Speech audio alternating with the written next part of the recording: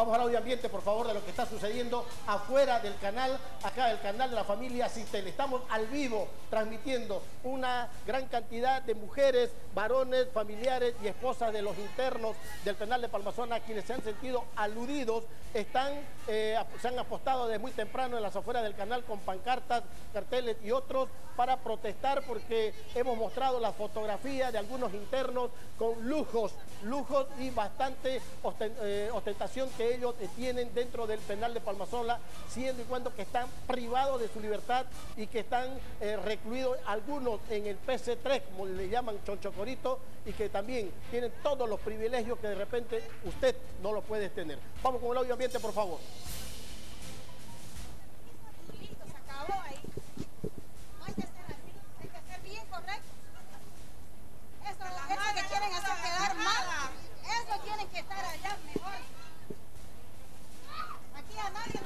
Ahí está, estas son las imágenes que tenemos.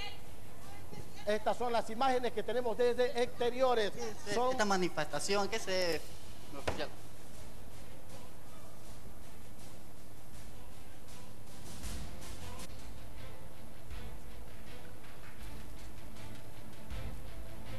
momentos de lo que está pasando afuera del penal, perdón, afuera del, canal de la familia Citel y quiero agradecer, como lo dijo bien la doctora Jessica Echeverría, la presencia de la, eh, de la policía, la unidad de UTOT y otros miembros de la unidad policial que han llegado hasta el canal para evitar que esto llegue a mayor. Desde anoche estamos recibiendo amenazas, amenazas por parte de esposas de los internos y, bueno, pues, o sea, sorprendente lo que, eh, lo que está pasando porque nunca esperé la reacción de tanta gente eh, apoyando lo que realmente están haciendo algunos internos dentro del penal. Este es el movimiento que se está dando fuera del canal de la familia. Eh, hay bastante preocupación por los mismos funcionarios del canal, quienes temen por su vida, por lo que se ha venido manifestando en lo que es el transcurso del día. Jessica, eh, lo decía usted, ¿qué es lo que está pasando en Santa Cruz?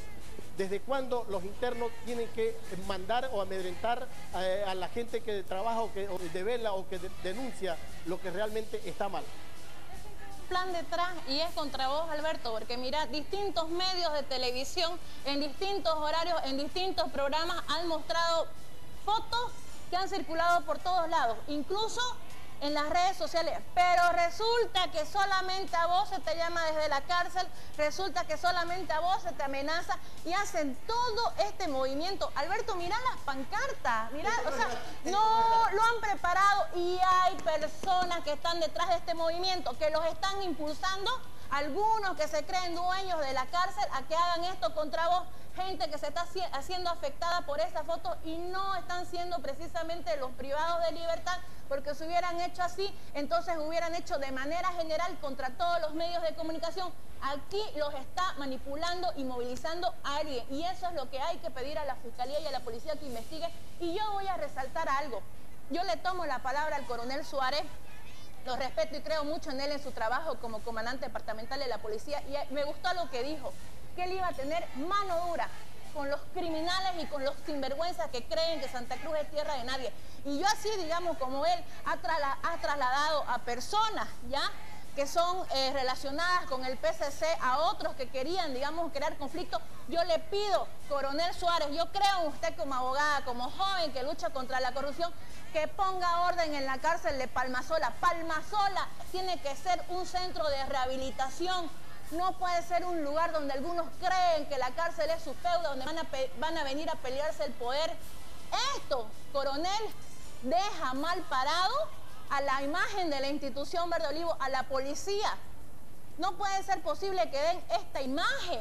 Nosotros respetamos su trabajo porque vemos que acá está el autor que ha logrado que Alberto pueda ingresar a su medio de trabajo, que no lo toquen, que no lo agredan físicamente, gracias a la policía que está afuera, pero esto es todo un complot que está siendo armado y que tiene que ser investigado. ¿A quién le está afectando la foto? ¿A quién? Me imagino que hay muchos intereses. Yo siempre lo he dicho, Palmasola se ha convertido en un gran negocio para muchos. Palmasola es un gran negocio para muchos desde la primera puerta hasta la última. Ahí ganan todos, desde los internos hasta quienes trabajan en, muchos, eh, en muchas unidades del régimen penitenciario y la misma policía. Pero yo quiero mostrarle, mire ahí dice justicia, yo, ¿qué hice yo para que los reclusos estén presos? Yo no los he metido presos. Es lo que yo me pregunto. ¿Acaso yo fui quien los metió presos? ¿Acaso yo fui quien los mandó a, cometer delitos? Simplemente he mostrado la ostentación que tienen algunos en estos momentos en el penal de Palmasola y nada más. Pero veamos, por favor, colocamos las fotografías, colocamos las fotografías de lo que ha provocado la reacción de la gente que en estos momentos se encuentra afuera de la, del canal de la familia Citel y estamos transmitiendo al vivo para que toda la ciudadanía eh, que, ve siempre el programa sepa lo que está pasando. Esto fue lo que provocó Jessica el malestar de la gente que ahora se encuentra afuera. A ver, con todo respeto, yo creo que las personas que están presas saben que toda cárcel tiene un reglamento, reglas que hay que cumplir y que hay que, hay que acatar. No es su culpa de usted, Alberto, si hay personas que están privados de libertad, que, están, que son reclusos y que de manera pues desubicada se han sacado fotos mostrando equipos de karaoke, equipos de música, mesas de billar, piscinas y que viva la joda. Y que no solo usted, Alberto, sino todos los canales lo han mostrado. ¿Ya?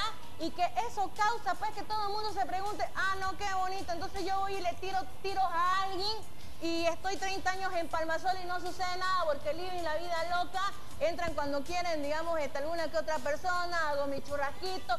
Y yo pregunto, ¿dónde se ha visto eso? Entonces, ¿a quién le está incomodando precisamente la voz de Alberto Ruth? ¿Quién quiere callar la voz de Alberto Ruth? Y yo voy a pedir, por favor, ya que usted me dé una copia de todas estas imágenes porque yo lo voy a presentar a la fiscalía porque tenemos que llegar al fondo de esta investigación y ver quién ha movilizado todo esto. Ahí dicen el PC3, bloque A, tiempos de cambio. Yo cuando era diputada, Alberto, esta mujer que ha sido diputada, cuando ocurrió la masacre de la cárcel de Palmasola, yo asistí al PC3 ya cuando hubo el conflicto entre el bloque A y el bloque B y quienes se quedaron en, la, en el PC3 e hicieron que trasladen a los, del, a los del bloque B, decían que ellos eran los conflictivos, que ellos querían cambiar la imagen. Sin embargo, vemos que están actuando con amedrentamientos y con amenaza. Querido pueblo de Santa Cruz, queridos policías que nos están viendo, queridos fiscales de distrito, no se trata de Alberto Ruth, se trata de un periodista, se trata de que cualquier ciudadano el día de mañana, cualquier fiscal, cualquier juez que quiera poner orden, que quiera cumplir su trabajo, va a tener que aguantarse este tipo de amedrentamiento. ¿Cómo es posible que desde la cárcel se maneje y se organice tremenda movilización, señores? Esto no es gratis, ¿no? no, no es gratis, es mucha plata detrás. no ha sido planificado hoy, ni nada. Esto ya viene preparándose y tengo información, me llama mucha gente, me está escribiendo, para decirme de que hay mucha gente que está, hay gente interesada que está en, el, en el caso terrorismo, en fin, yo no sé de dónde viene todo esto que se está manejando desde atrás y que son los que están moviendo, porque esto no es gratis. Esto para movilizarse es con recursos y todo el mundo lo sabe acá en la ciudad de Santa Cruz y en cualquier parte del mundo. Jessica.